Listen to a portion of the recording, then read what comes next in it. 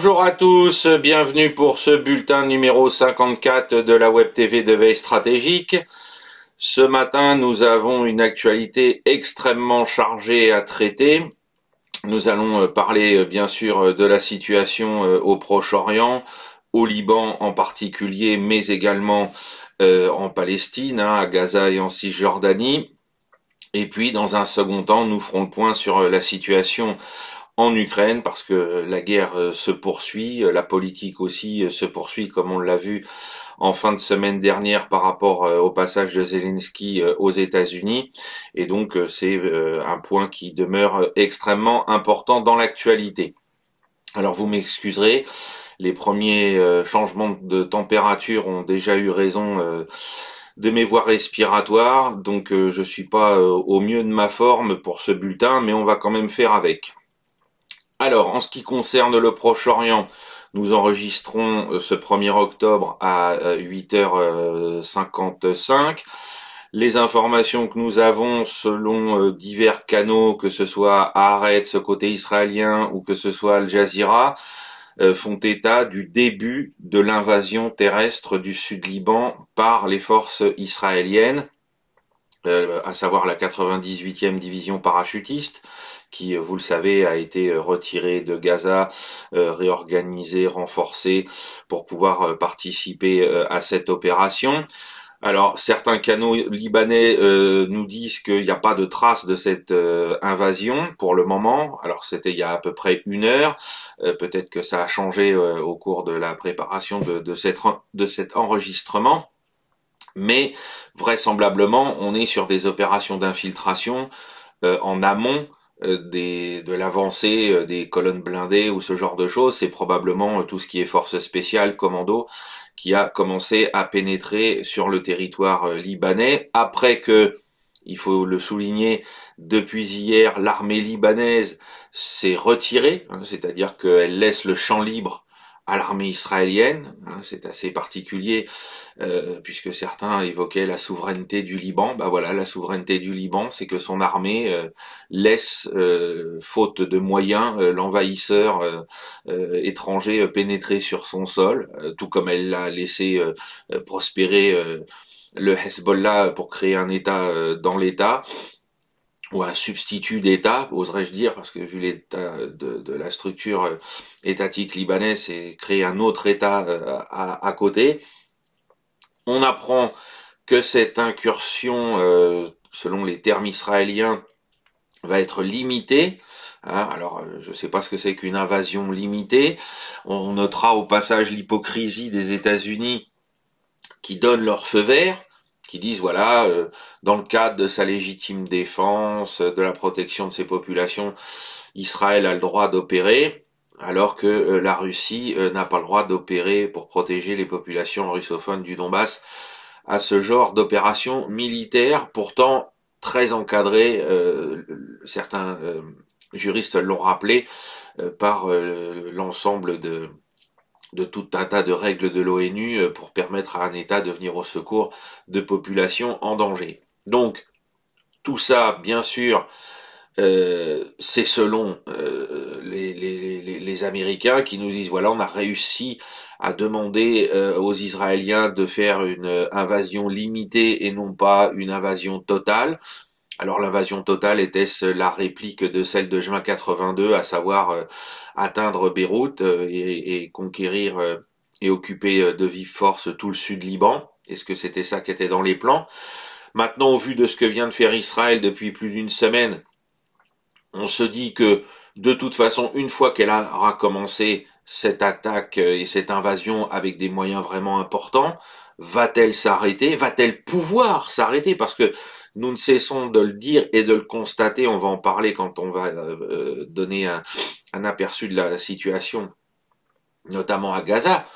Aujourd'hui, il n'y a aucun succès militaire opérationnel, opératif, pardon, qui permet à Israël d'obtenir des résultats stratégiques sur le plan militaire à Gaza. Hein, parce que il n'y a pas le, Hamas ou d'autres forces de la résistance palestinienne continuent d'attaquer, de mener des opérations militaires offensives contre Tsahal. Voilà. Donc là, avec les moyens dont dispose le, Hezbollah, il y a aucune raison d'imaginer que ça va bien se passer pour les Israéliens. Aucune. Hein, et c'est pas le tapis de bombes qui a été déversé euh, maintenant euh, depuis euh, depuis la semaine dernière qui va y changer quelque chose, hein, parce que on nous dit oui c'est plus ciblé. Alors oui c'est vrai parce que par rapport à Gaza c'est hors, enfin, la comparaison est, est, saute aux yeux. Hein. Malheureusement pour le peuple libanais, on a franchi, je pense, le cap des 1000 morts en fonction des différentes sources qu'on peut euh, qu'on peut consulter aujourd'hui, on est à plus de 6000 blessés et on est à 1 million de déplacés. Voilà. Et alors, bien évidemment, avec le feu vert américain, Israël a frappé le Yémen, hein, on l'a vu ce week-end, euh, les, bases qui servent vraisemblablement à Ansar Allah euh, pour stocker une partie des missiles qu'elle a récupérés et avec lesquels elle a réussi a frappé euh, Israël. Hein, je vous rappelle, on a mis ça sur Patreon, un article qui explique que euh, Ansar Allah avait vraisemblablement donc euh, réussi un tir de missile euh, hypersonique sur la partie sud d'Israël, hein, dans le désert du Negev, sur un un gazoduc, je crois, ou un oléoduc, et que euh, voilà, donc là les Israéliens ont répliqué. Bien évidemment, tout ça, c'est avec les renseignements qu'offrent les États-Unis avec euh, euh, leurs moyens aéronavals qui sont dans la région, hein, pour permettre un repérage et un ciblage tout à fait facile et précis. Et c'est d'ailleurs ce qui s'est passé par rapport à l'attaque qui a été menée vendredi contre Beyrouth pour tuer euh, Nasrallah et euh, plusieurs autres commandants du Hezbollah. Hein, donc euh, on va revenir d'ailleurs sur, sur cet aspect, mais on voit bien que là, les, les, les, les, Israéliens ont les mains libres, et en plus de ça, cette nuit, ils se sont permis, donc en plus des frappes qui ont été menées bien évidemment malheureusement contre le Liban, que ce soit camps de réfugiés euh, palestiniens, que ce soit euh, des quartiers euh, de, Beyrouth, hein, ils ont également frappé la Syrie et ils ont, il y a eu au moins trois morts et parmi ces morts, on compte une de nos consoeurs journalistes, Safa Ahmed, qui a été, qui est une journaliste présentatrice à la télévision syrienne, qui a été tuée dans ces bombardements. Voilà. Et donc ça veut dire qu'on est au, alors, euh, sur Gaza, on est à plus de 156 journalistes qui ont été tués euh, dans des opérations militaires israéliennes de différentes natures, bombardements aériens, etc. Et là, eh bien, c'est la même chose. On voit que les journalistes, même en Syrie, vont payer un tribut important à l'ensemble de ces opérations militaires.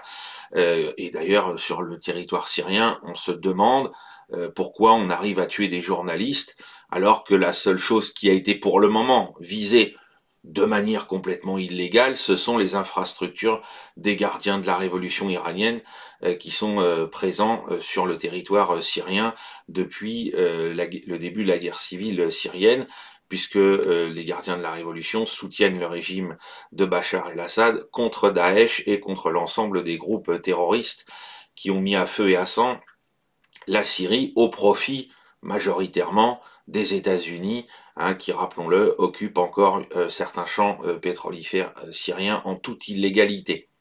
Voilà. Alors, par rapport à la à l'attaque contre le QG du Hezbollah, il semble qu'on soit dans quelque chose d'absolument phénoménal sur la façon dont, en termes de, de, de, de déroulé diplomatique, les choses se soient orchestré, pourrait-on dire, hein, c'est-à-dire que avant de rejoindre l'ONU et l'Assemblée générale, la semaine dernière, Netanyahou aurait laissé entendre qu'il y aurait euh, un possible cessez-le-feu au Liban euh, vis-à-vis du Hezbollah si euh, l'Iran ne menait aucune attaque contre Israël par rapport à l'idée dont on a longtemps parlé au mois d'août de riposter par rapport à l'assassinat d'Ismaël Haniyeh à Téhéran le 31 juillet dernier.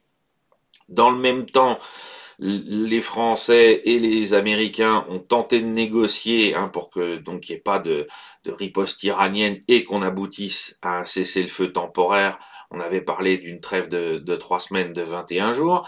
Du coup, l'Iran prévient Nasrallah qu'un cessez-le-feu pourrait être négocié et donc euh, euh, par conséquent, euh, sa situation personnelle et celle des autres chefs du Hezbollah encore indemne par rapport aux attaques des, des aux premières frappes aériennes, eh bien, il est en sécurité, c'est-à-dire qu'Israël ne va pas en plein milieu de ces négociations frapper.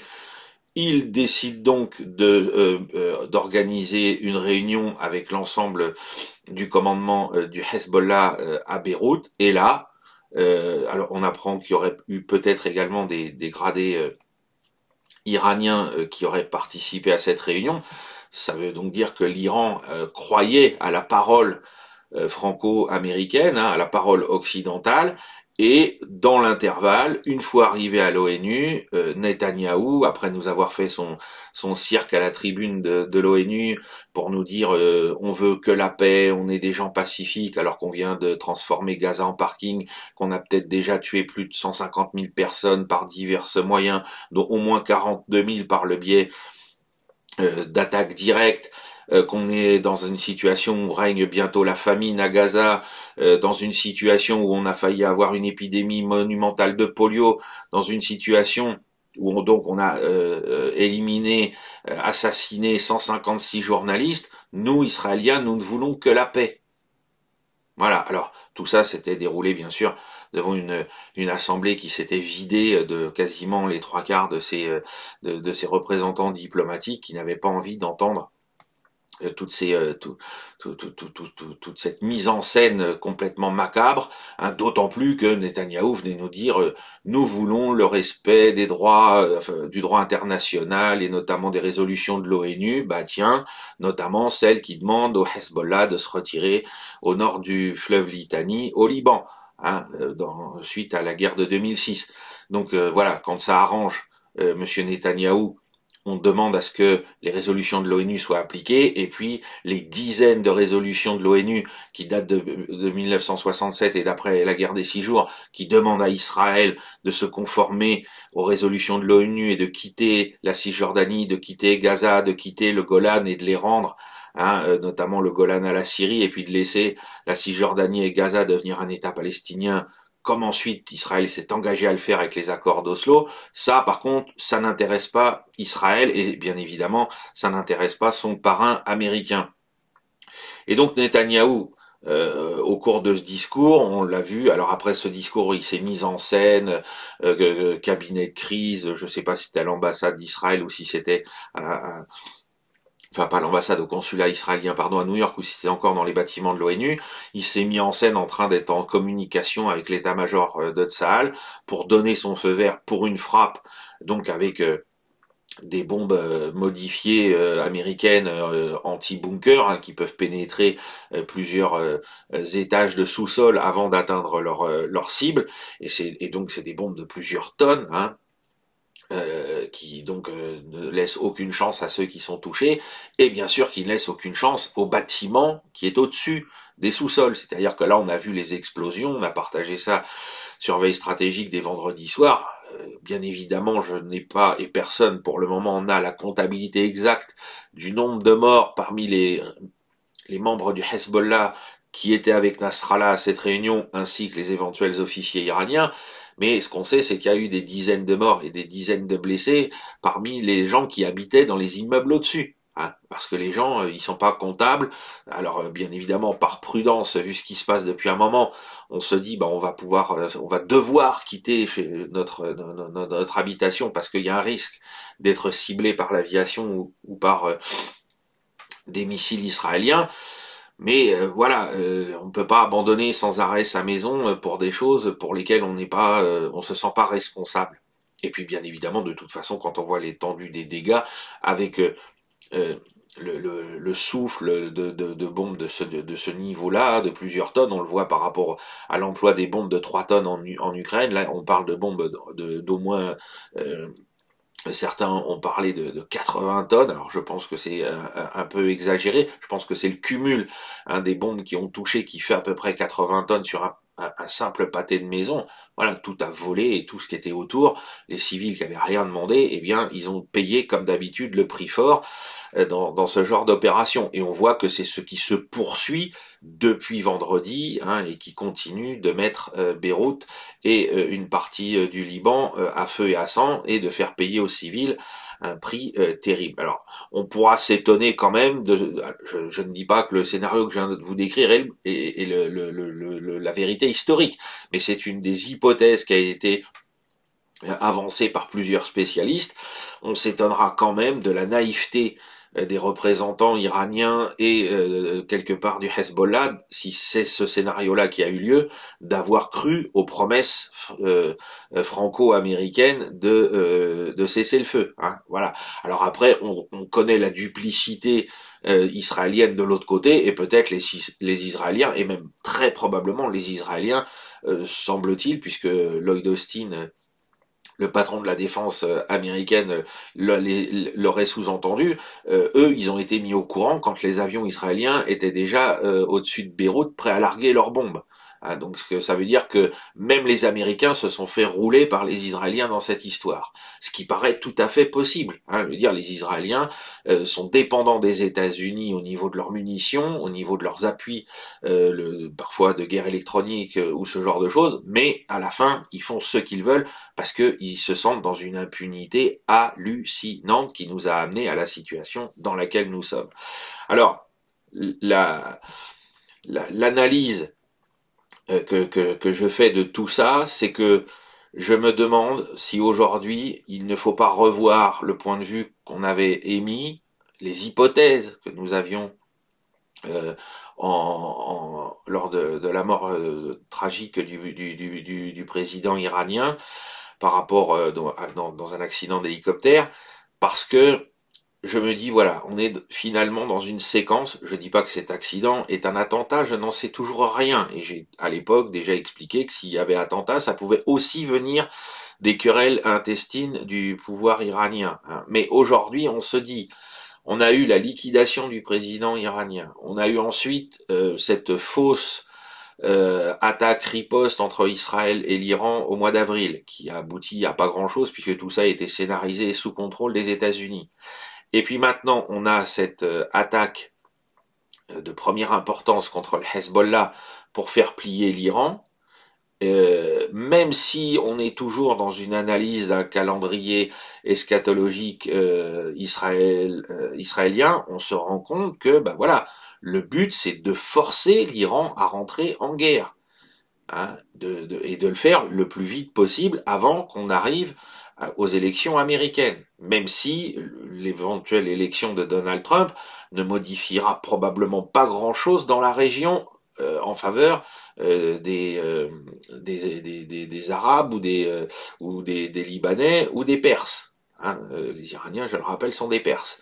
Donc voilà, moi je me dis peut-être Israël, avec puisqu'à l'époque on a parlé de l'éventualité d'un attentat du Mossad avec la complicité des Azéris, peut-être Israël a-t-il euh, pu mener une grande, une grande offensive bien préparée, bien planifiée de longue date pour déstabiliser l'Iran, pour la mettre dans une situation encore plus fragile, avec un nouveau président qui est plein de bonne volonté, qui veut qu'il y ait la paix et qui veut pas que son pays soit entraîné dans la guerre, et donc Israël profite de, tout cet effet d'aubaine, si c'est pas eux qui ont fait l'attentat pour éliminer le président euh, dans cet euh, accident d'avion, ou en tout cas profite de cet effet d'aubaine pour tester la résilience iranienne et pour vérifier que finalement il y a beaucoup de bruit pour pas grand chose parce que les Iraniens ne veulent pas se sacrifier et sacrifier leur situation intérieure dans une guerre extérieure. Voilà. Et puis, et puis, parce que c'est pas négligeable, Moscou est probablement intervenu, puisqu'on a vu plusieurs visites de Shoigu ces, dernières, euh, ces derniers mois euh, à Téhéran, depuis qu'il n'est plus ministre de la Défense et qu'il est un membre du Conseil de, de, sécurité nationale russe, on l'a vu plusieurs fois à Téhéran, probablement qu'il a donné des garanties sur la sécurité iranienne, mais qu'il a demandé à, l'Iran de rester euh, à un certain seuil de réplique et de riposte pour ne pas embraser la région.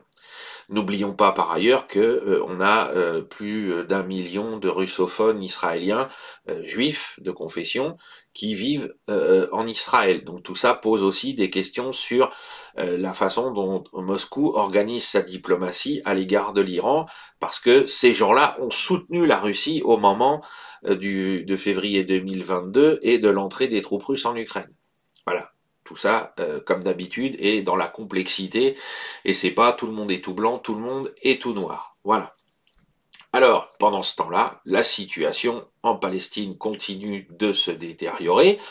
Comme je le disais, donc, on a eu euh, dans le secteur de la ville d'Al-Foukari euh, des attaques d'unités palestiniennes, alors on n'a pas la détermination du groupe auquel elles appartiennent, hein, si c'est euh, le Hamas ou d'autres, euh, qui ont donc bombardé des véhicules blindés de l'armée israélienne, et ce qui a provoqué des pertes du côté israélien. Donc on a toujours cette activité, on va, ça va faire un an maintenant, dans une semaine, que le 7 octobre a eu lieu, hein, que la guerre a commencé euh, de manière ouverte à Gaza avec l'attaque euh, des mouvements palestiniens le 7 octobre. Au bout d'un an, alors même si Tsahal est rentré euh, au sol trois semaines après, donc on est à 11 mois d'intervention israélienne au sol, eh bien, contrairement à ce qu'on nous a affirmé, les mouvements palestiniens sont toujours actifs, Tsahal continue de perdre du monde et ne contrôle finalement rien définitivement. Face à des gens qu'on nous a annoncé être avec un potentiel de 10, peut-être 15 000 combattants, au moment où Israël a décidé de son intervention au sol. Donc là, que va-t-il se passer avec cette invasion du sud Liban où là, malgré la désorganisation, malgré les pertes, on voit que le Hezbollah poursuit des frappes sur Israël. Hein, J'ai pas eu le temps d'en faire le décompte euh, tout à l'heure. Le, Hezbollah continue de frapper Israël tous les jours, même depuis la mort de, de Nasrallah. Donc, ça veut dire que le potentiel militaire est encore actif. Alors, euh, vu qu'il y a eu beaucoup de, de bombardements qui ont frappé probablement de certains stocks de munitions, de missiles, il y en a euh, peut-être moins, mais en tout cas, il y a encore un potentiel offensif du, du Hezbollah. Et le Hezbollah, c'est minimum, selon certains experts, 30 000 hommes.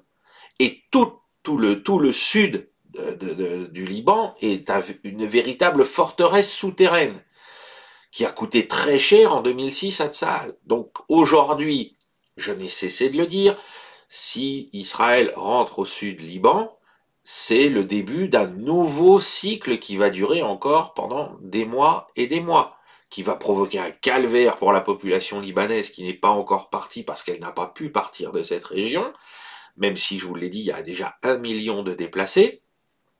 Et pour l'armée israélienne, on ne voit pas, à part cet objectif très immédiat de maintenir Netanyahou au pouvoir, parce que la guerre le maintient au pouvoir, et de servir l'agenda des kahanistes extrémistes sur le fait euh, de déclencher euh, la, enfin de, poursuivre la guerre de Gog et Magog et de provoquer euh, l'Armageddon, le Armageddon. Je salue mon camarade Antoine qui n'arrête pas, semble-t-il, de mentionner ça auprès des, modérateurs sur les, commentaires des vidéos. Voilà, c'est, on se dit à la fin, il n'y a plus que cet objectif-là qui va être servi. Enfin, c'est deux objectifs. Netanyahou toujours au pouvoir et la poursuite de la guerre de Gog et Magog pour déboucher sur euh, l'Armageddon euh, et l'avènement euh, du Machar, l'avènement du Messie. Voilà. En sachant que dans l'eschatologie talmudique, il est dit que Dieu tirera par les cheveux les nations pour les forcer à la guerre. C'est l'image. Et là, on est en plein dans ça. C'est-à-dire qu'on est en plein dans cette idée que l'Iran veut pas la guerre euh, et essaye de tout faire pour éviter la guerre généralisée, même la guerre régionale, elle essaye de tout faire pour ne pas qu'elle ait lieu. Et on voit bien que les Israéliens, qui euh, incarnent cette vision euh, eschatologique, font tout pour les forcer, et avec eux le reste du monde, à la guerre.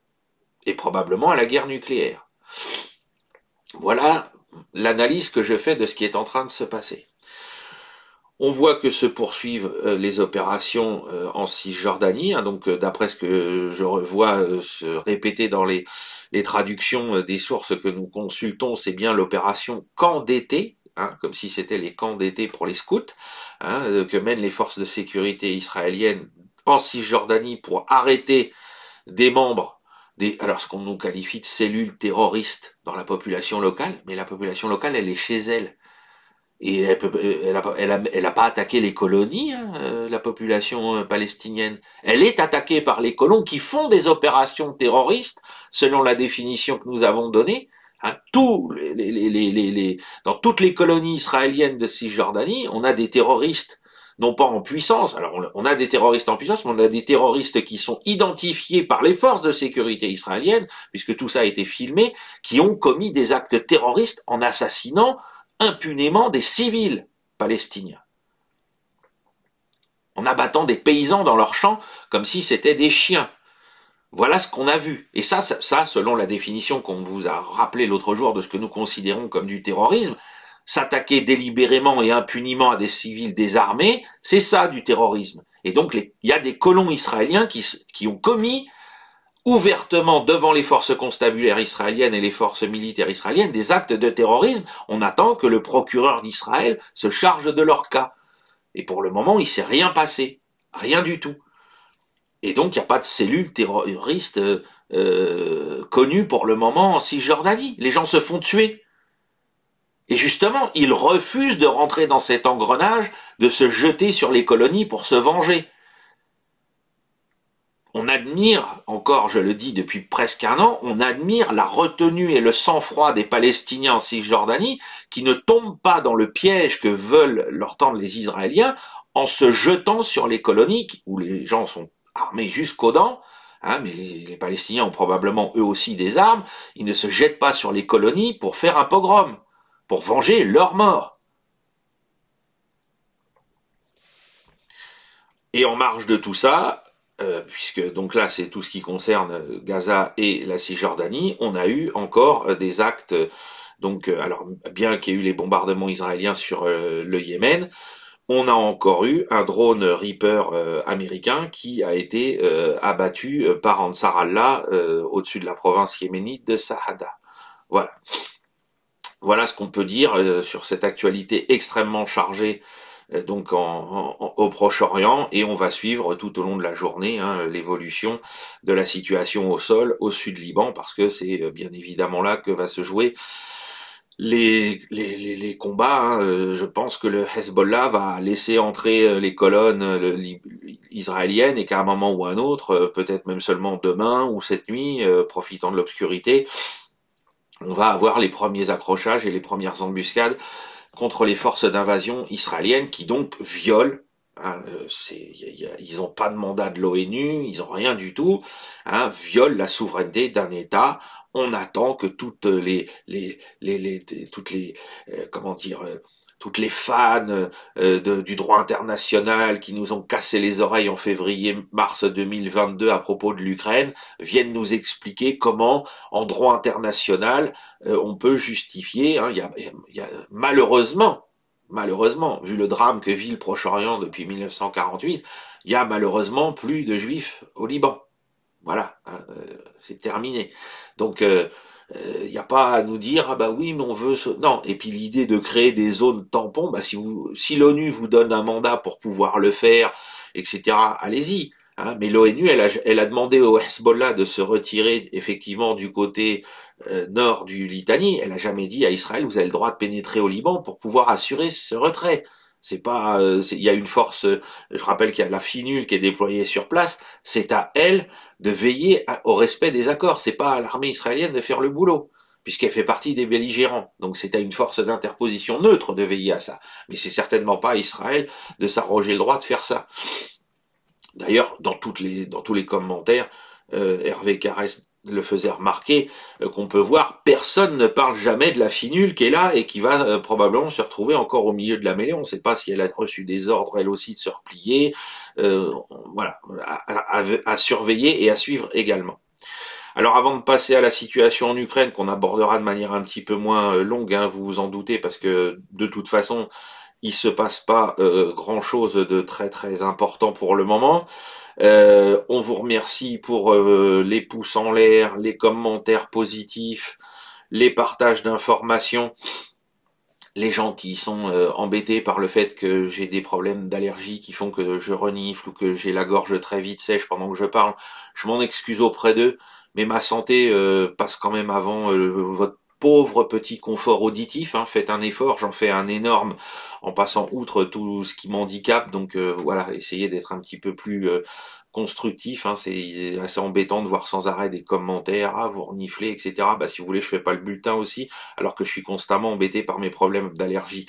Bref, donc merci pour toutes les complémentarités d'informations. Certains ont mis en avant des choses très intéressantes dans les commentaires, nous ont aiguillé vers des vidéos euh, de d'autres collègues journalistes ou, euh, ou youtubeurs qui euh, apportent des informations complémentaires. Merci à tous ceux qui nous rejoignent sur Patreon où vous le voyez, nous essayons donc de tenir la cadence tous les jours, de vous mettre un article sur, euh, hier on a mis quelque chose sur euh, l'état des recrues de l'armée ukrainienne selon ce que nous disent les instructeurs et les spécialistes britanniques, hein, pour nous montrer à quel point nous avons raison depuis quelques mois maintenant de dire que le niveau global des recrues ukrainiennes s'est effondré et que les types sont envoyés à la guerre avec à peine deux mois de euh, deux mois pardon à peine des fois deux jours de formation. Donc tout ça on, fait des traductions et c'est pour ça qu'on monétise via Patreon ces traductions parce que ça nous demande beaucoup de travail.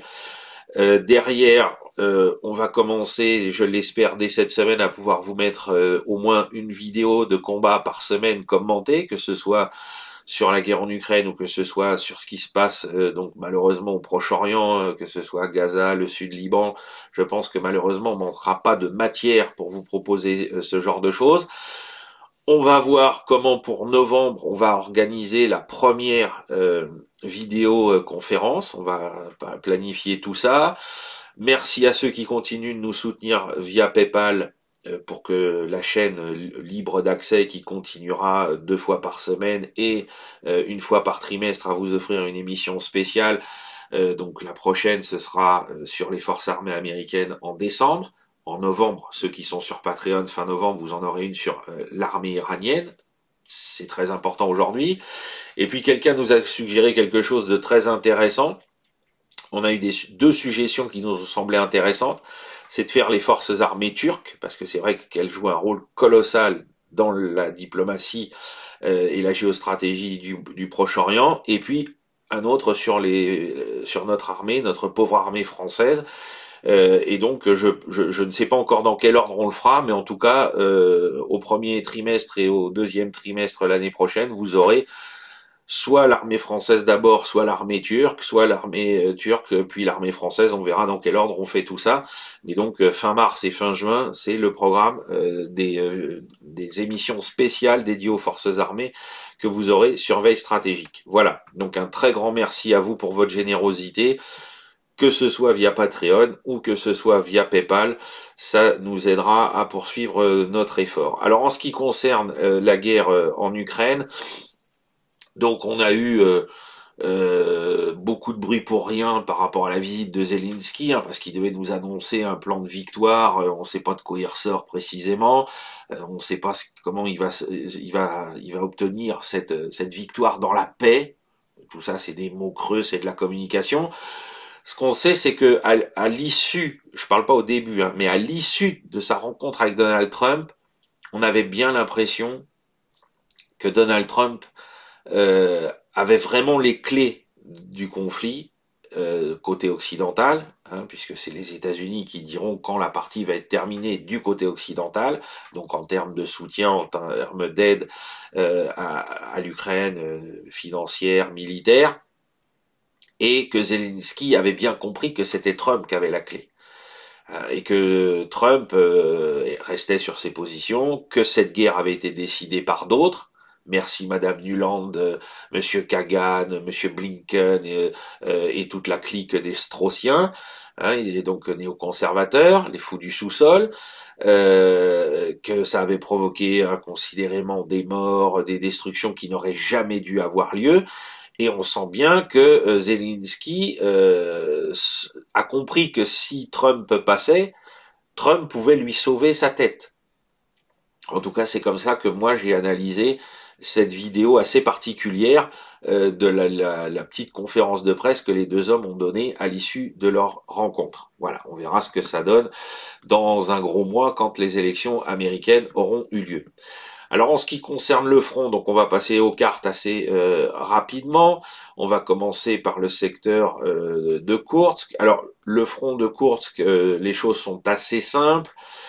Je vous ai remis donc en bleu Souja l'objectif euh, des Russes. Euh, l'espèce de turquoise, c'est la fameuse route euh, R200 qui relie Soumy en Ukraine à Souja. Hein, c'est la voie de ravitaillement principale de l'armée ukrainienne.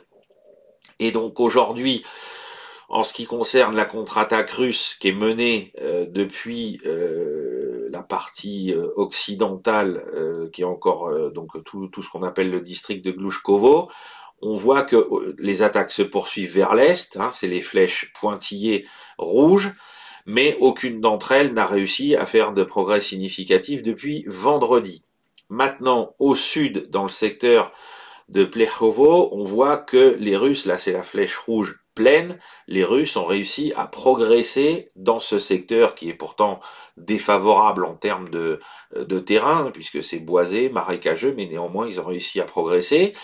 Euh, alors sur quelques, à peine, je crois, c'est 2 kilomètres de progression, mais sinon, globalement, le front reste stable dans ce secteur. Et dans la partie occidentale, euh, donc euh, côté Glushkovo, on voit que les Ukrainiens, contrairement à ce qu'on avait constaté vendredi, ont repris des attaques en direction de Vesseloye, mais que ces attaques, un hein, c'est dans le rectangle rouge plein, mais que ces attaques n'ont pas abouti, sinon à la destruction, semble-t-il, d'un nouveau léopard, euh, léopard 2 euh, A6, je crois, euh, qui a été détruit hier selon les différentes images qu'on a pu consulter sur les réseaux Telegram russes. Voilà ce qu'on peut dire sur ce secteur. Donc pas de progrès significatif, mais on voit que la pince sud de la mâchoire russe qui veut atteindre la route R200, elle a un petit peu progressé. Alors ensuite, on, dans le secteur, euh, dans les autres secteurs, euh, Kharkov, euh, Kupiansk, Svatovo, pas de changement significatif. Hein, les grands, enfin les grands changements, les changements les plus significatifs ont eu lieu dans le secteur de Toretsk. Hein, comme vous pouvez le voir, on a euh, les Ukrainiens qui ont euh, été définitivement euh, donc chassés de Nelipivka. Tout, tout, le secteur au sud de New York est définitivement entre les mains des Russes. Et maintenant, les Russes poursuivent. Ils ont réussi une belle incursion ici le long de la de la petite rivière qui, qui coule là en, en, dessous de Léodivka, je crois. Si je dis Léonidivka, pardon. Là, ils ont réussi à s'infiltrer en suivant le cours de la rivière.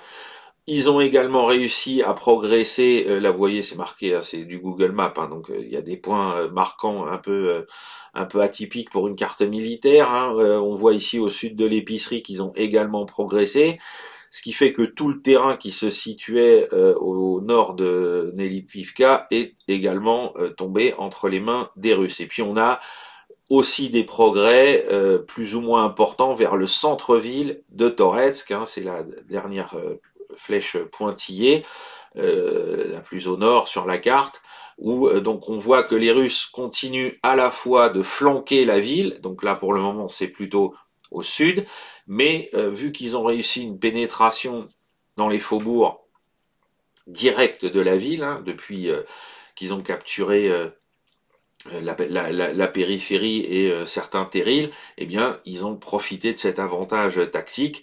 Maintenant, on verra euh, si cet assaut devient euh, enfin s'il devient de plus en plus puissant ou pas, ou si les Russes continuent d'y aller comme d'habitude par à coup en profitant euh, de certaines, euh, notamment de certaines rotations des unités ukrainiennes qui ne qui, qui, ne cessent de s'épuiser dans, dans ce genre de combat et qui, par rapport à ce qu'on disait déjà au mois d'août, manque de munitions. Hein. on a entendu des chiffres absolument terribles en ce qui concerne le nombre, par exemple, d'obus de mortier qui se, qui se limitent des fois à moins de 10 obus de mortier par jour euh, dans certains secteurs.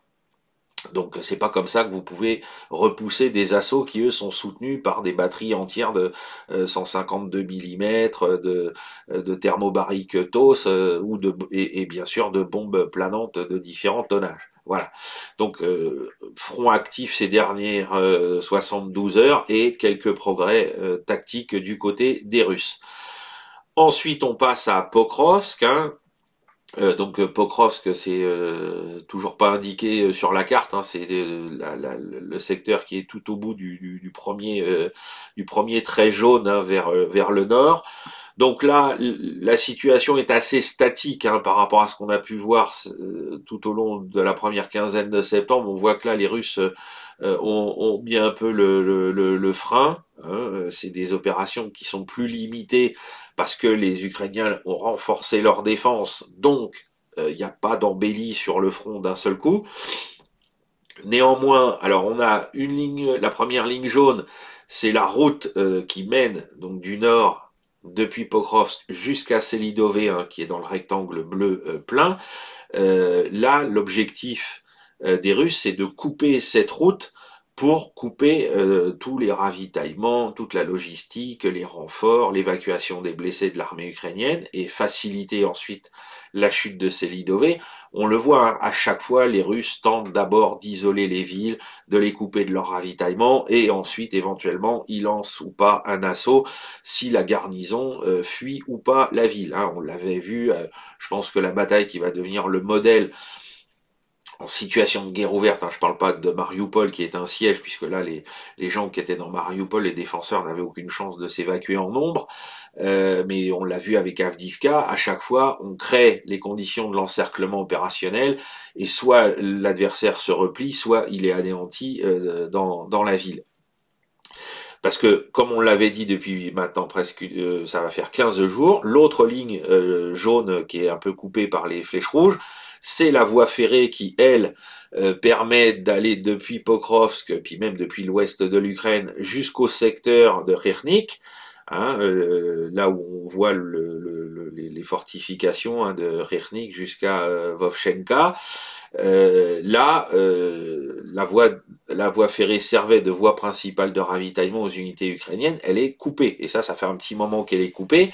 Et ça me fait dire que, alors les, les Russes vont se répandre en utilisant la voie ferrée vers le nord et vers le sud, hein, puisque c'est un terrain qui est encaissé et qui les protège des vues euh, de, la, de la défense ukrainienne.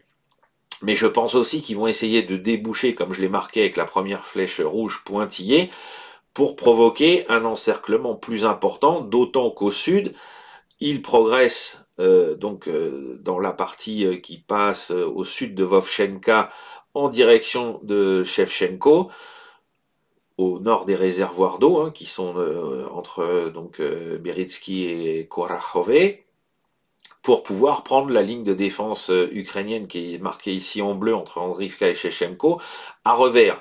Et ainsi, puisque le saillant autour de Khernik n'est toujours pas vidé malgré les attaques locales russes, eh bien de provoquer euh, ainsi le repli, pardon, de la de, l'effectif ukrainien qui est engagé dans cette zone. Ou alors il sera sacrifié à un encerclement comme à Avdivka. Voilà ce qu'on peut dire pour le secteur de Pokrovsk. Donc on voit que les opérations baissé d'intensité parce que la défense ukrainienne semble avoir été renforcée. Hein, on a, euh, semble-t-il, encore fait des rocs d'unités sur divers points du front. Il faudra surveiller si ces points du front qui ont été déshabillés entre guillemets de leurs unités pour venir renforcer ce secteur-là ne seront pas à leur tour soumis à des attaques russes. Hein, puisque ça, c'est comme ça que les Russes opèrent depuis plus d'un an maintenant. Dès que les Ukrainiens retirent du monde, eux, ils en amènent et ils profitent de la situation pour recréer une supériorité numérique et avoir euh, des gains tactiques et, peut-être opératifs. Donc dernier point sur le front, c'est la situation à Ougledar qui là aussi s'est figée par rapport à ce qu'on avait vendredi. Hein. Euh, les Russes ont achevé euh, quasiment à 100% l'encerclement de la ville. Il laisse une porte de sortie hein, qui est très limitée en termes de taille. On en a parlé vendredi à la garnison ukrainienne. Et néanmoins, depuis Vodiane, il continue d'attaquer en direction donc de ces euh, Borayavlenka, Borayavlenka, pardon, hein, tout au nord. et on peut éventuellement imaginer une autre attaque depuis euh, euh, à l'ouest vers Nouveau-Kraïnka, de telle sorte à avoir un encerclement sur un territoire qui est plus vaste, hein, comme ce qu'on vient de voir dans le secteur de Pokrovsk. Si la garnison pense pouvoir encore tenir et euh, nous forcer à un combat de vive force dans la ville, eh bien on va faire un encerclement plus vaste pour la contraindre définitivement à se replier ou à euh, faire Cameron on verra là encore, hein, les, attaques russes euh, ont été très localisées autour d'Ougledar euh, ces dernières 72 heures. On n'a pas constaté euh, d'un seul coup un gain territorial majeur. Par contre, on voit bien que au nord, du côté de Vodiane, ça continue d'attaquer plein nord-ouest pour atteindre donc Bochayavlenka, pardon, assez rapidement.